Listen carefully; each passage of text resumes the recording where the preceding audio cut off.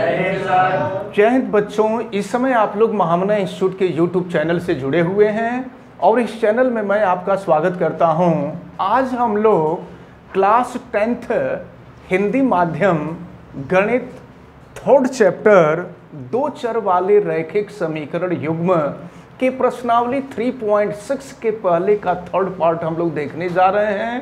ये पूरी की पूरी प्रश्नावली ही बहुत इंपॉर्टेंट है, इसको बहुत अच्छी तरह से समझना है और थोड़ा सा टफ है, इसलिए आपको बहुत ध्यानपूर्वक समझना है। ध्यान देंगे तभी आपको बात समझ में आएगी। लेकिन इसके पहले मैं आपको बता दूँ कि अगर आप इस चैनल पे नए हैं तो चैनल को सब्सक्राइब कर लीजिए बेल आइकन को भी प्रेस करें और वीडियो को मैक्सिमम स्टूडेंट तक शेयर करें। किसी प्रकार की कोई दिक्कत समझ में आती है तो आप कमेंट करके हमें बतावें और वीडियो को लाइक ज़रूर करें।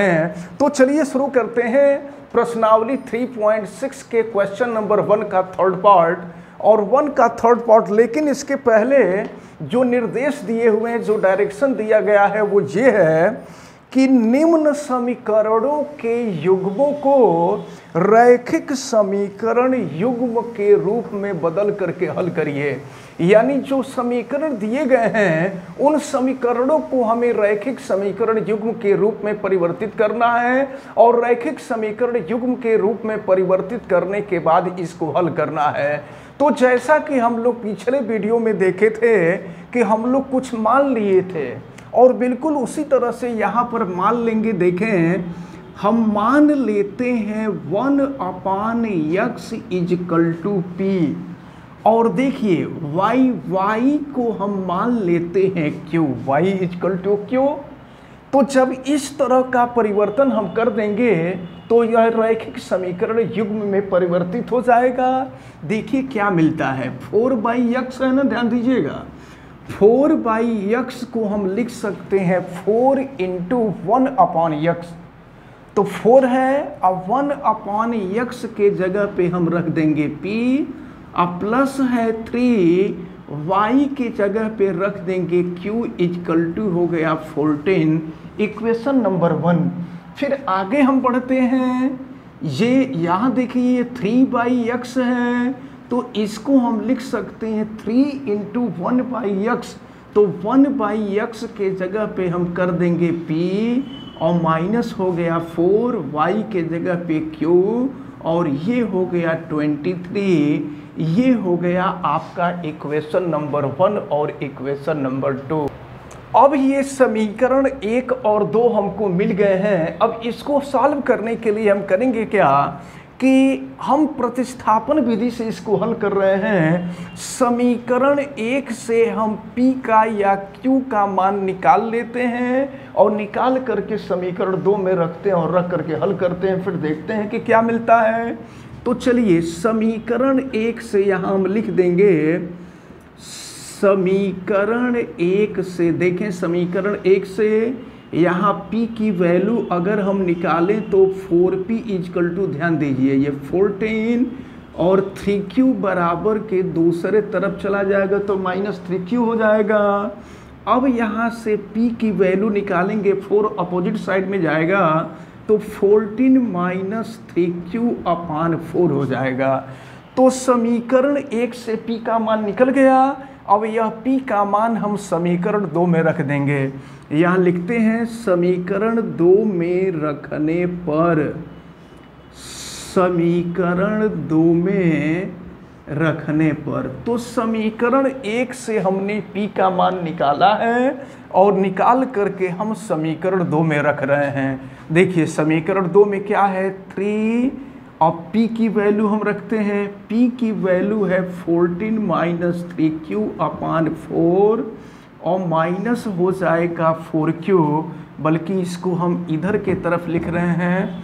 तो ये देखिए, ये है थ्री और p की वैल्यू हम रख दे रहे हैं 14 minus three Q by four minus हो गया फोर क्यू इजकल टू हो गया 23 अब देखिए क्या करेंगे? यहाँ अपान फोर है, बटा में फोर है तो बटा में फोर नहीं होना चाहिए। तो इसलिए हम चार से दोनों पक्षों में गुणा कर देंगे तो ये चार कट जाएगा। तो चलिए चार से गुणा करें। ध्यान दीजिए, जब इसमें हम चार से गुणा करेंगे तो चार से चार कट जाएगा। अब ये हो गया थ्री ये हो गया फोर्टीन माइनस थ्री क्यू? अब फिर फोर से इसमें भी मल्टीप्लाई कर देंगे। तो फोर फोर ज़ा सिक्सटीन हो गया। Sixteen Q? अब फिर फोर से इसको मल्टीप्लाई करेंगे। तो ट्वेंटी थ्री में फोर से मल्टीप्लाई करेंगे, क्या हो जाएगा? चार तेई बारह हो जाएगा और चार दूना आठ एक नौ बानवे हो जाएगा। ठीक है? अब जो है इसका मल्टीप्लाई कीजिए अंदर तो फिर ये हो जाएगा चौदह तेरह बयालीस फोर्टी टू हो जाएगा, और माइनस हो गया नाइन क्यू और माइनस हो गया सिक्सटीन क्यू और ये इजकल टू हो गया नाइन्टी टू और देखिए ज़रा माइनस सिक्सटीन क्यू और माइनस नाइन क्यू दोनों माइनस है तो दोनों जुट जाएगा। तो ये हो जाएगा माइनस ट्वेंटी फाइव क्यू और ये है नाइन्टी टू और माइनस है फोर्टी टू। अब नाइन्टी टू में से फोर्टी टू माइनस कर लीजिए। चलिए इधर हम आते हैं। तो minus twenty five Q, twenty five Q है और ninety two minus forty two क्या? फिफ्टी हो जाएगा।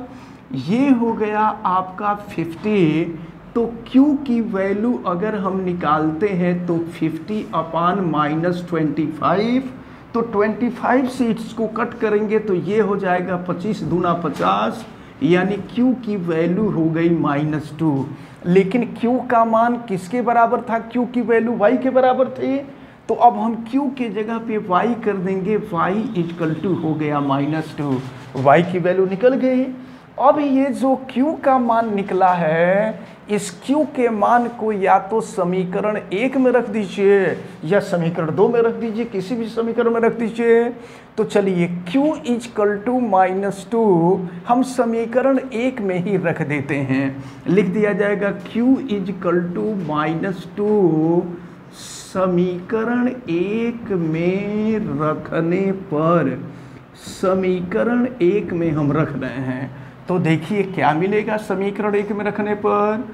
Four P plus three into Q की वैल्यू है minus two is equal two हो गया फोरटीन ये हो गया फोर पी और ये देखिए three into minus two minus six equal to fourteen तो ये हो जाएगा four P equal to minus six को अपोजिट साइड में ले जाएँगे तो प्लस सिक्स हो जाएगा तो 14 प्लस सिक्स हो जाएगा 20 यानी p की वैल्यू हो गई 20 बाई फोर।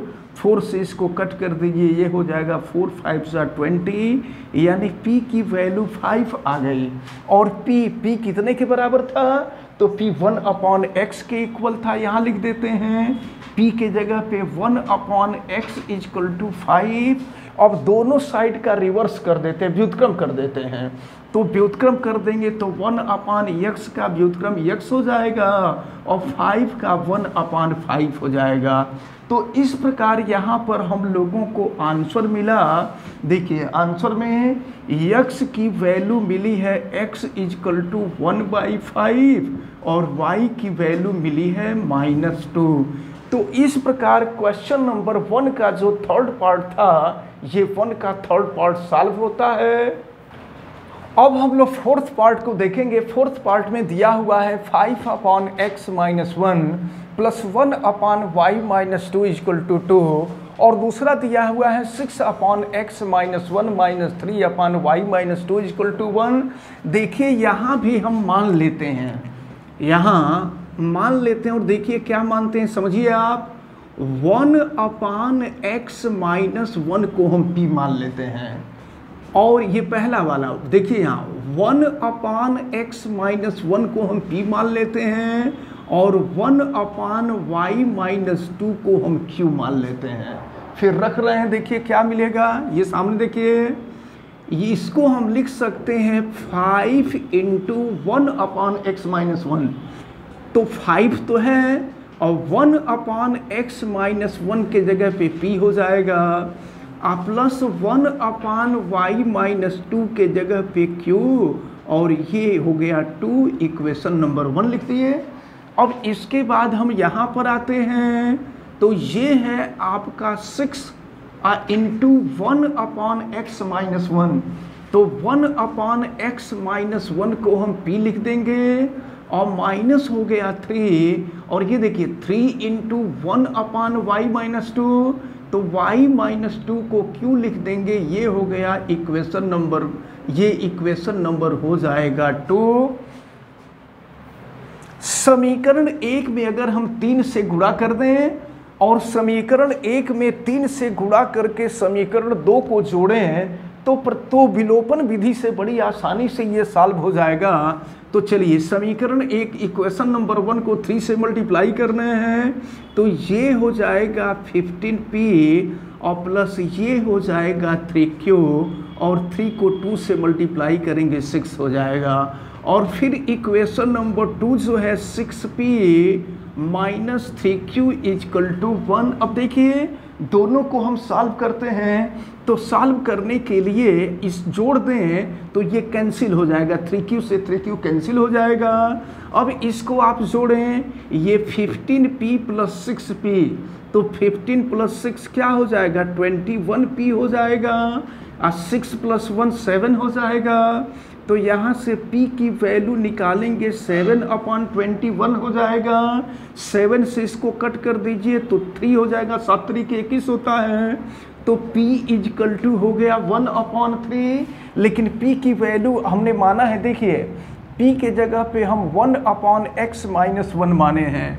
तो P के जगह पे one upon x minus one equal to one upon three कर देंगे।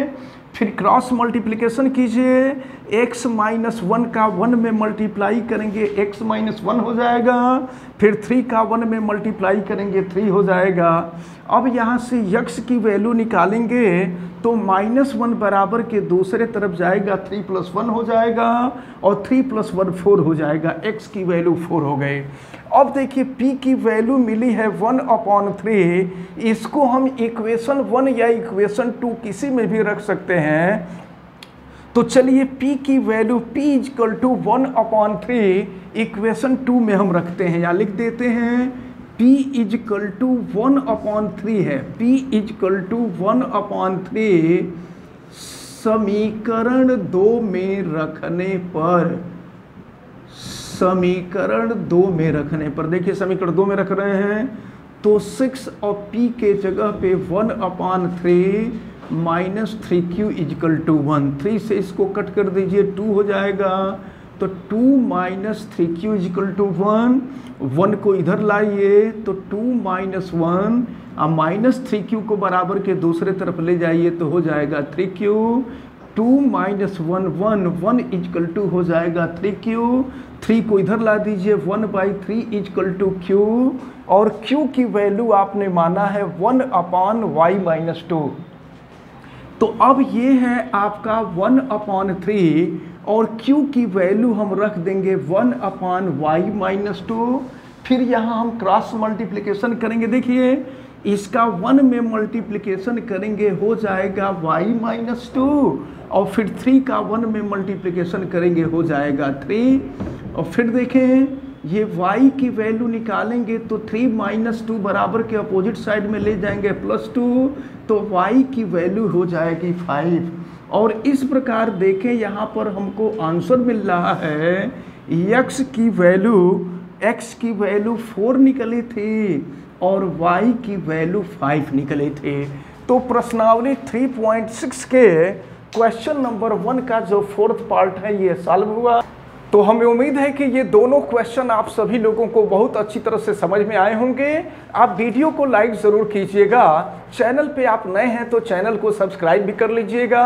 बेल आइकन को प्रेस भी करेंगे। और अगर किसी प्रकार की कोई दिक्कत समझ में आती है तो आप कमेंट करके हमें बतावें। आप सभी लोगों का बहुत बहुत धन्यवाद। जय हिंद।